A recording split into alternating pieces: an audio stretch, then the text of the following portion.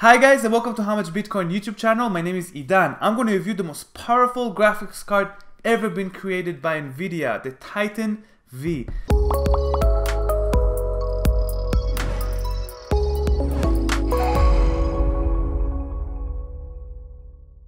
It has 12 gigabyte of the new HBM2 type of memory, 21 billion transistors. It has 5120 CUDA cores and it only consumes 250 watts. Now, I'm gonna try something that never been tried before and I think it will be awesome. I'm gonna install this big boy in this casing that was made by Alienware. Alienware made an external GPU case where you can install that and connect it to your Alienware laptop and increase your performance and utilize the Titan V. Now, I don't think anybody ever tried to put one of those, but if if I succeed, I can have a mobile gaming and mining beast. Now, before we start, I want to thank our sponsors for today's video. Hamster Marketplace is a decentralized trading platform. It's designed to solve the high fees current marketplaces charge for selling and buying products online. That is causing products to cost a lot more than they should. Hamster connects you directly to manufacturers, and if you are a manufacturer, you can list your product on Hamster and save money that way as well. By reducing associated fees and providing security using blockchain technology, Hamster provides a safer way and a cheaper way to trade online. Hamster Marketplace focuses on electronics and gadgets. HMT token is now on sale and you can check out their white paper at hmstr.io. In this video, I'm to show you exactly how I'm to unbox the Titan V, install it in the external GPU by Alienware, and then we're to do some mining benchmarks. We'll see how much money can we make from mining this Titan V full time. We'll see how much watt it takes and what about some gaming performance? I'm gonna try some heavy games like Crysis 3 on top level performance and I'm gonna try to do it on 2K 120 Hz. I might even overclock my screen to 130 Hz just to see if I can see the difference and utilize fully this amazing GPU. So let's start with the Titan V unboxing. Here's the box, it's just a plain white box. It tells you the support and warranty. There's a three year warranty and um, that you need a 600 watt power supply or more. But I do know that this card takes 250 watts and um, the power supply in the case is 375 watts.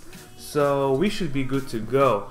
Now um, there's a little sticker here and here and we're just gonna cut it open. Carefully of course with a $3,000 video card.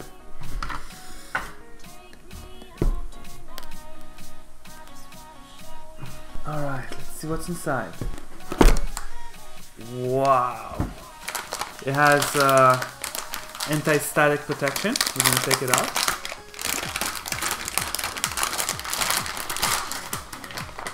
So it's a blower design, so we have one fan here. It has a back plate, which I really, really like. I'm happy that they put a back plate because some of the Titan X they didn't have a back plate, so that's a big deal. Pretty nice design, I like the design a lot. It says Titan right there, and it says Titan V right there. The box includes also a instruction, some instructions and support guide, and some cabling. Oh, we have a DVI uh, adapter cable, which not really gonna be needed right now. Alright, so now let's go ahead and unbox the case from Alienware and install this Titan V in the case. So, here is the Alienware external GPU case. It's big. I mean, it's so much bigger than the 1070, the 1080 Aorus external gaming boxes. This is much, much bigger. But you can install a full-size video card in there. Now let's go ahead and unbox it.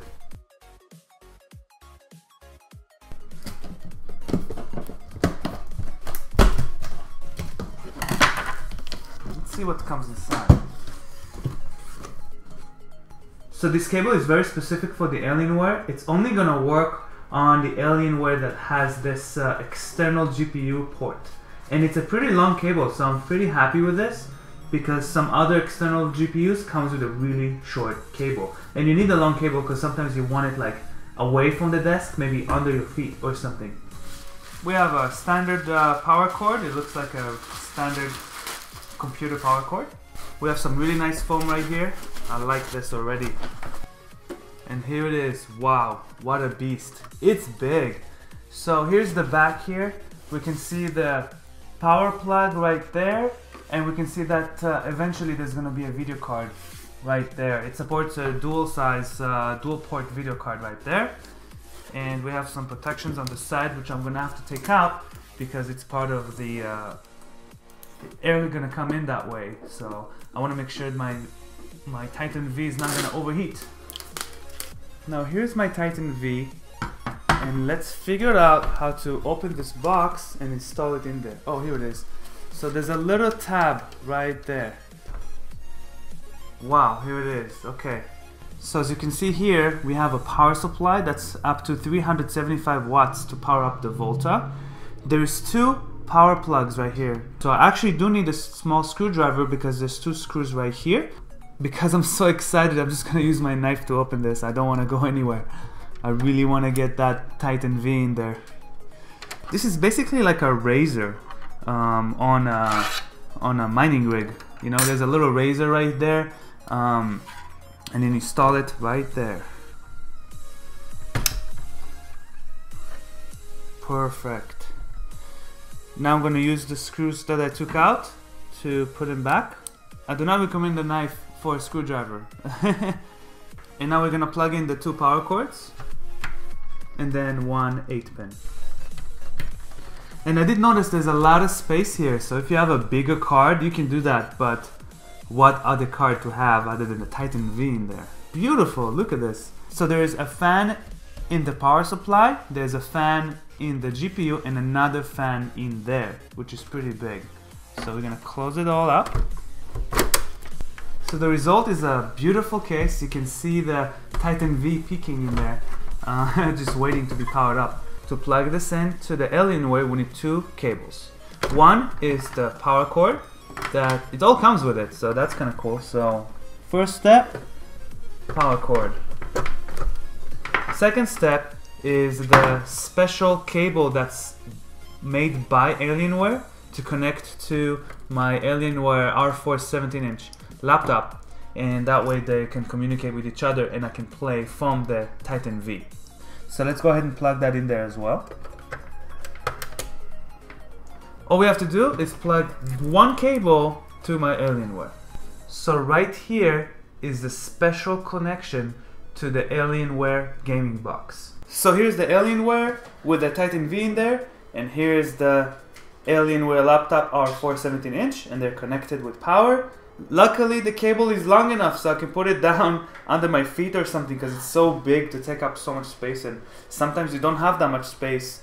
Uh, let's say if you go to Starbucks and you want to play there, or your friend's house doesn't have that big of a table, this might be too big. So the cable is long, and I appreciate that, Alienware. Thank you. So once we installed everything and run a benchmark, you can see here the performance for the Titan V.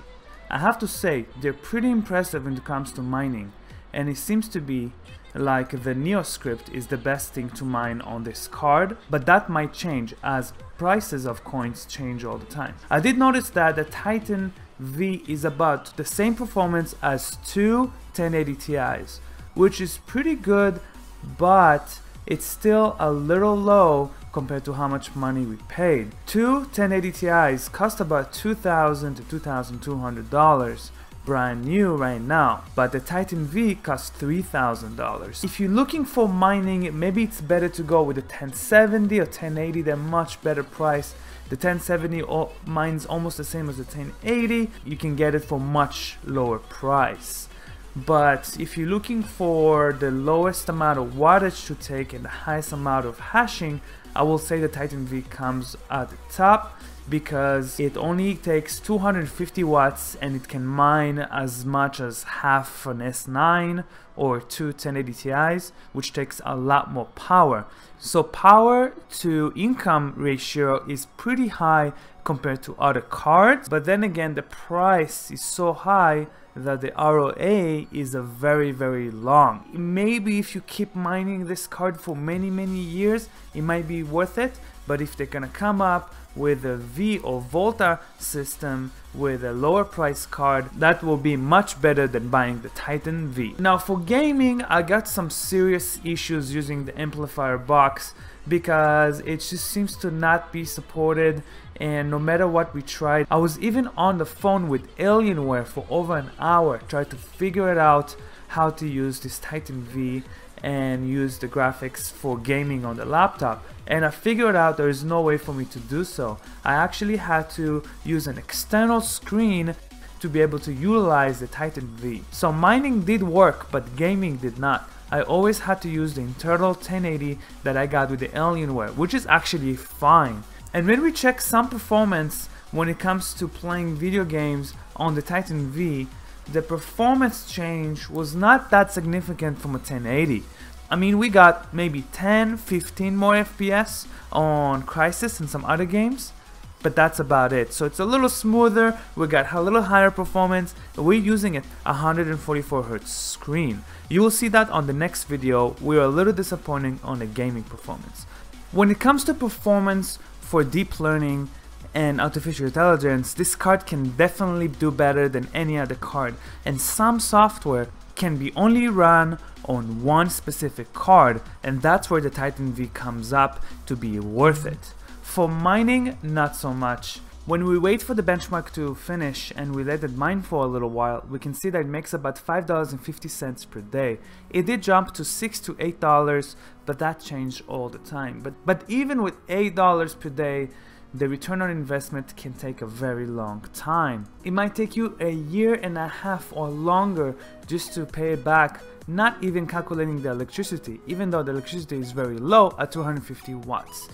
As we can see here, Titan V performs about double of the 1080 Ti, but if we take the 1080, it almost performs the same as the 1080 Ti, and that's probably because a lot of people are mining right now, and the number of cards are better than a better card, so maybe getting tons of 1070s or tons of 1080s is much better than investing on a 1080 Ti or a Titan V. Now those numbers change all the time because back then 1080 Ti used to mine enormous amount of profit. I mean, it used to mine $10 a day per card and that was just amazing. You know, you could have returned your investment in maybe 4 months. But with the current pricing of the Titan V, it's doing really really bad. So I cannot recommend this card for that purpose or for using it with the amplifier with the Alienware because it's not supported. So what is this card for?